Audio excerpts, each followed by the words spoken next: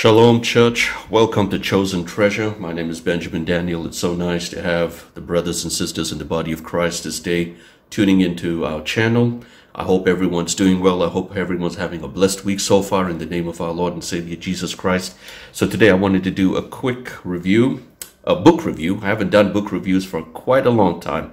Uh, when my wife and I started this online ministry channel, one of the first videos that we put up was a book review and that was a couple years ago. So today I wanted to just talk about this amazing, beautiful Bible guide that we received, uh, I think about a month and a half ago. I haven't really talked much about it, and there are not many videos right here on YouTube about it. So I wanted to give you my take on this amazing Bible guide over here. So now this one is called, and I'm trying to get a proper camera angle here, so I hope you can see this. It's called The Complete Guide to the Bible, and the author is Stephen Stephen M. Miller. And over here it says it's an illustrated, easy to follow reference guide covering both the Old and the New Testament. And it has uh, a book by book background and explanations and fascinating details on Bible times over here and striking artwork and photography, helpful cross reference and indexes. That's right. So on the back of the book, it's the complete guide. It is not the Word of God, it's a guide to the Bible. So it has artwork, it has uh, paintings, it has maps, and it has some photographs over here. And in inside you find detailed explanation of all 66 Bible books, plus the Apocrypha. It has intriguing sidebars and unique, confusing, or bizarre aspects of Scripture. Yeah, there's a lot of that over there. Beautiful design with 300 photos, illustrations, and maps, and helpful cross-references and indexes. So that's how it looks. It's a beautiful, beautiful book. I just wanted to get a wide angle shot of this over here. And this is how it looks. Now, you're going to notice a little stain here. Uh, I guess when they were shipping it or packing and handling it, that's how I received it. So, obviously, I didn't want to go put in a replacement. I don't want to wait two more weeks or 10 days to get it. So, I'm okay with this. It was not wet when we received it. it was just stained over here. So, that's the inside, complete guide to the Bible uh, from Barbour Publications. And this came out, I think, in 2007. So there you go. Fine. So I'm going to like go into a close-up angle. Okay, so this is the close-up angle right now. Oops, don't want to knock my camera down. And the author, Stephen M. Miller, says that he spent a whole year working on this book with occasional workday breaks to look out the window. And when he was not birdwatching, goofing around, he did the opposite. He kept his head focused. All right, fine. That's just a little introductory. And he just wanted to write this book because he knew that many Christians out there, many believers probably just don't understand how to read the Word of God. And he's not saying that it's going to replace the Word of God. It's going to be a guide. And he wants people to treat this like, uh, it, it kind of looks like a magazine, but treat the Bible with respect due to a 2,000 year old book. And it explores different opinions of what the Bible is saying. And there are many more reasons why he wrote this book over here. So I just wanted to show this over here. Forget about the, the mark over here. Okay, and he uses different scripture references over here. He uses from the NIV, the KJV, New Living Translation. And for some reason, I don't know why, but he's using it from the Message Bible also too. But that's the author's preference, I guess. And he thanks a lot of people. So this is the index right here, the table of contents. It has the Old Testament, uh, all the way from Genesis to Malachi. It has the Apocrypha. Those are the extra biblical reference books that are not considered part of biblical scriptural canon, if you understand what I mean. Uh, Catholic churches have the Apocrypha. The Ethiopian church has the Apocrypha, and the uh, Orthodox church has the Apocrypha. It's only the, the Protestant churches that don't have it. So the New Testament, all the way from Matthew to Revelation, he has an index, and art resources. So it's beautifully laid out. It's mostly a beige color and it looks kind of like an old kind of manuscript like kind of book over here. So just wanted to show you the Old Testament. He says uh, some Christians hate this title much as Jews do. They prefer the First Testament.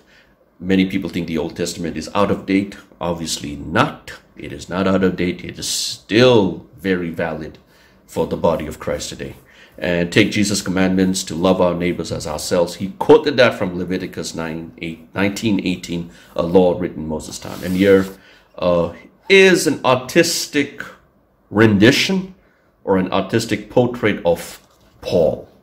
We don't know how he looked, so we can only guess that's how he's. I'm just using my pen over here. So he talks about how we got the Old Testament, most of the old and memorable stories like what we saw about Moses and Abraham were passed along by word of mouth and from one generation to the other.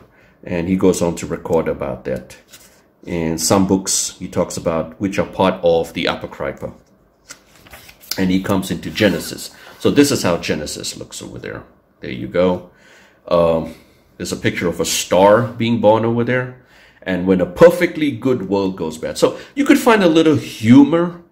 Uh, I'm not saying it's a, a, funny book, but a little humor over here together with uh, whatever the author is explaining about the background of how we got the Word of God, the Holy Bible, the Holy Scripture, and how it can be used as an amazing reference guide for us today. So this would be amazing to be used in Sunday school and even as a homeschooling material. I use it a lot for my daughter's homeschooling scripture classes over here. And um, it's an invaluable aid over here. And he talks about how God creates the first couple, Adam and Eve. What is the main point of Genesis? This is the breakdown you'll find for every book over here. Let me just try to get that there. Oops. Okay, let me just put that there. Uh, the main point is God created and sustains everything that exists though sin damaged God's creation and his relationship with humanity, God is at work in, in the world restoring both. So there's a main point.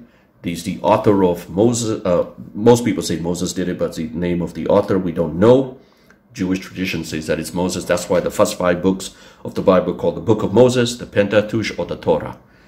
And the date, well, we're not sure exactly when. During the time of Abraham's great grandson the location again. So it's always going to be in context. What is the main point? The who, the what, the why, the where, the when. That's what context means when you read the Word of God. It's very important. The stories cover a lot of Middle Eastern territory, of course, in what is now Syria, Turkey, Israel, Egypt, Iraq, which is Mesopotamia, and Iran, which is, no, Iran, Mesopotamia, and Iraq, which is Babylon. Back in those days. And everything is in the Middle East. So again, when people say, "Oh, Christianity is a white man's religion and uh, it came from the West and the Bible is is a book from the West," that is so stupid and lame. You know, I'm done with that argument. It is not. The origins are right there from the Middle East.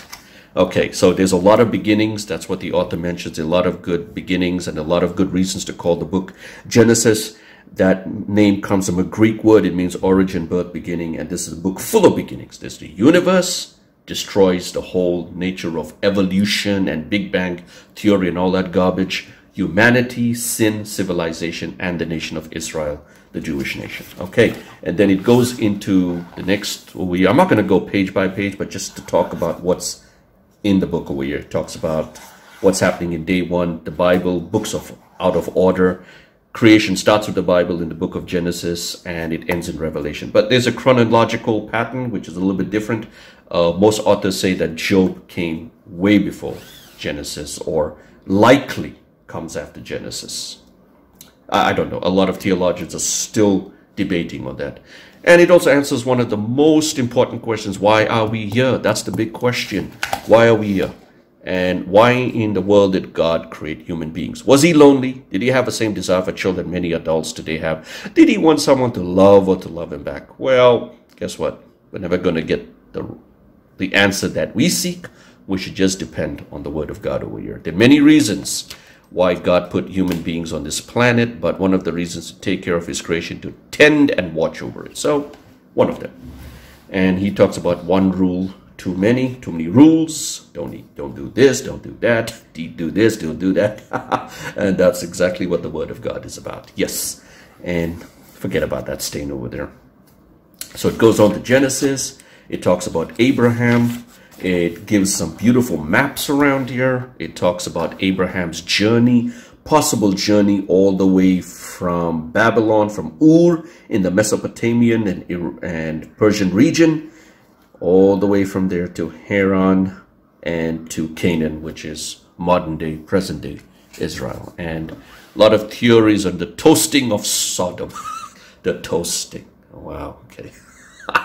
of why the Lord punished Sodom and Gomorrah for their despicable, perverse sin. Uh, many other people are still giving theories about how it even happened.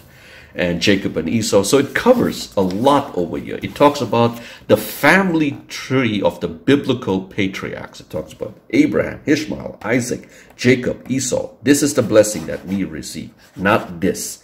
And then it talks about Jacob's sons, the 12 tribes of Israel. Again, it talks about Miss Beauty, Mrs. Beauty and Mrs. Beast. Okay, Jacob's two wives, Rachel and Leah. we don't know. That's just an artistic rendition. We don't know how Rachel and Leah really looked. Maybe, maybe like that.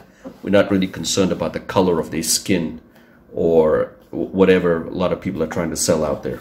Okay, even right here, selling little brother Joseph, and it comes down to daddy is my grandpa. Okay, yes, there's a lot of that going on in the Bible, so I'm going to leave it right there and it talks about Joseph's family reunion, and then we are coming to the end of Genesis, and it goes into Exodus again, an artistic rendition where they say goodbye to the Egyptians, bye bye, never going to see you again, freed from Egyptian slavery. The Israelites hurriedly pack everything they can carry and start their long journey home. So it goes on for many pages, and I just want to show you how many pages are there in this book.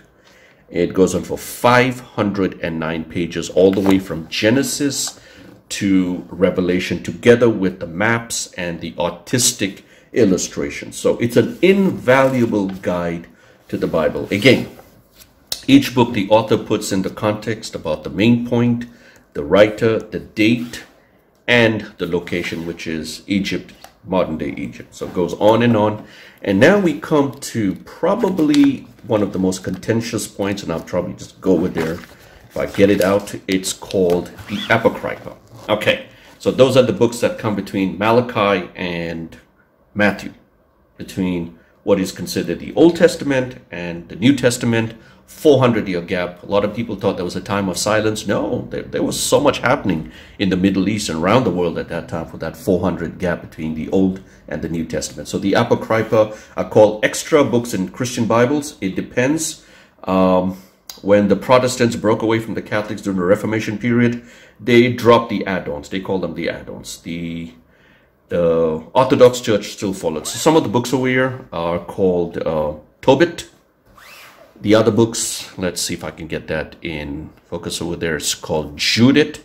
Let me just bring my camera down a bit. Okay, there you go. It's called Judith. And the other books is called The Additions to Esther. And there's the Wisdom of Solomon. There's Sirach. There's Baruch. There's a letter of Jeremiah. There's a prayer of Azariah and the Song of the Three Jews. There's Susanna. Bell and the Dragon is connected with... Um, the book of Daniel. Then there's the first Maccabees and the second Maccabees. That was very important to Jewish tradition today because they celebrated um, together with Purim when Esther and everybody else saw the deliverance of the Jewish people from the Persian threat. And the Maccabees was when uh, the Jewish people revolted against the Greeks, and that brought upon the downfall of the Greek uh, tyranny over the nation of Israel and the Jewish people. And the Romans came over. So they wanted independence from the Syrians and the Greeks at the same time. So there's the first book of Maccabees, second book, there's the book called the Esdras, there's a prayer of Manasseh, there's Psalm 151. This is David's song after killing Goliath. Now, obviously, when we read our Protestant Bibles, no matter what translation or what transliteration we have, it just stops at Psalm 151. And there's third Maccabees and second Esdras and fourth Maccabees. So a lot of uh, churches, denomination, they follow that. Again, over here, there's a little breakdown. The Protestant church, we have it all the way till 39 books of the Old Testament. There's no additions. The Catholic Church have it till first Esdras. Then the Orthodox and other Christian groups have the whole thing. So if you want to read it, you can go ahead and get copies of it. It is online. It is available online and the many sites already do search for the Apocrypha. I personally, I do not feel that it's wrong to read the Apocrypha books because we got so many books out there written by different Christian authors and other men women of God. And if you can read them, I'm sure you can read this. But keep in mind, they are not included in the canon of what we call the Protestant Bible today. with 66 books. So if you want to read it as extra uh, books, I won't say it's extra biblical, but they are non biblical, but extra books. That's what I would say. Extra books in the Christian Bibles, right? Yeah. But none of them are is considered as canon or inspired, inspired text. So that's it. Then we come to the New Testament. The author starts with by the time Jesus was born, around 64 BC, Jews had been waiting for at least six centuries for God to do something new. He said he would. And through the prophets in the Old Testament, the Lord sent the promised Messiah, even though he was not recognized. So it starts with Matthew. Again, there is a rendition, an artistic illustration here of what the wise men would have been. We're not, they're definitely not, it looks like they're three, but they could have been more. And what makes Matthew so special? Finally, the Messiah has come. And again, the main point of Matthew, the writer, the date, and the location. Very, very important. And it goes on, it talks about the world of Jesus and the wise men, uh, a pregnant virgin, of course, very contentious point today for many people. It talks about the Jewish gospel, very, very important to understand the origins of our gospel. And it talks about when the wise men were looking at the stars, what exactly was going on in the heavenlies. And again, some artistic renditions are here and illustrations of the Bethlehem massacre when Herod orders the slaughter of boys below the age of two. Horrendous there. And there are also photographs here. They are not artistic illustrations, they're actual photographs of uh, where Jesus would have done the Sermon on the Mount. So the book goes on all the way to Revelation. Not Revelations, but Revelation, and it ends with a new heaven, new earth, and a new Eden. And it comes to the index, and after the index, there are art resources, and that's the end of the book. There you go. This is it again from Stephen M. Miller, The Complete Guide to the Bible, an illustrated, easy to follow reference covering both the Old and New Testament. And it's quite appropriate to put a picture up of the Christians being slaughtered in the Colosseum over there, never forgetting how we even ended up with the Holy Bible today. So there you go. That's it. The complete guide to the Bible. It's available on Amazon India. Uh, I don't know the price, uh, but if you do have the finances for it, I would definitely say go for it. So I've never seen the full in-depth review right here on YouTube, so that's why I wanted to do it to get to to put out an idea out there if you're interested, so that you would have um, some kind of guide and an idea how this book looks and what you're going to get into it. And they are PDFs online, but it's nice to have a book like this in your hand with actual pages that you can turn and beautiful illustrations. Lovely for Sunday school, lovely for young adults, even older Christians, and lovely for homeschooling children. There you go. So have a blessed day ahead of you. The Lord watch over you. The Lord bless you and guide you in the mighty name of our Lord and Savior Jesus Christ Church. And um, I'll see you when I see you and I have another big book review again. Shalom. God bless.